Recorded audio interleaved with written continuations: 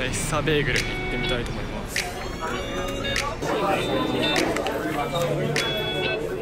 っちゃ混んだ。俺が入ってきてから人が増えた。Is in bagel, um, blueberry.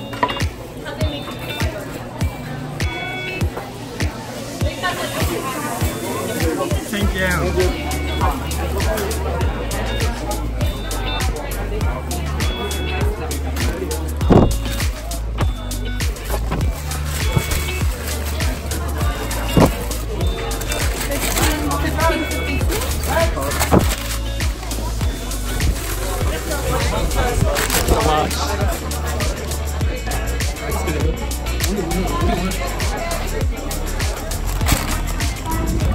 ということでオレンジジュースとベーグルをゲットしました。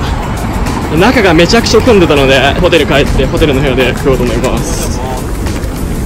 横に日本人の人が2人いてちょっと喋ったんですけどやっぱ有名な店っぽいですね。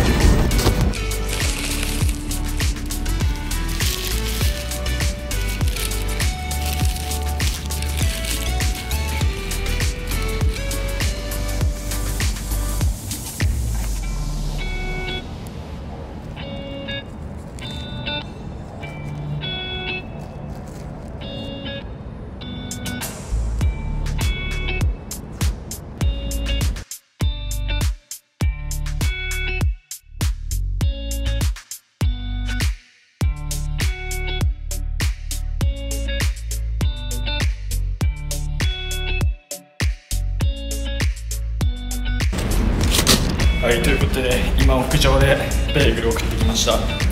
今10時なんでえーっと3時からねブロードウェイで舞台を見に行きたいと思います。ということで一旦ホテルの部屋に戻ります。バイバイ。